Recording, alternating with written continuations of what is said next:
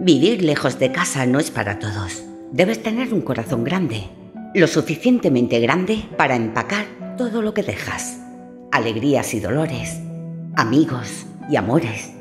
Este bagaje cardíaco late incluso cuando tocas suelo que no te pertenece o cuando estás acostado en un colchón que no tiene tu forma y una almohada incómoda y miras al techo preguntándote, ¿a dónde vas?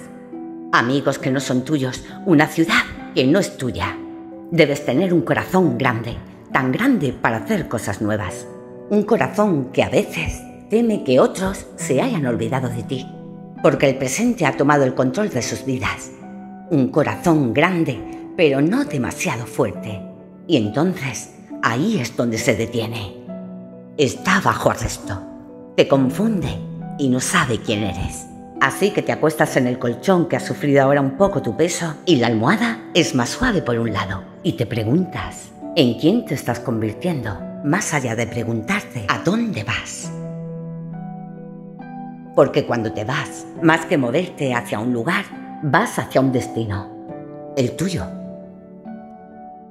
Estamos hechos de otra pasta. Quienes no lo han vivido no podrán entenderlo.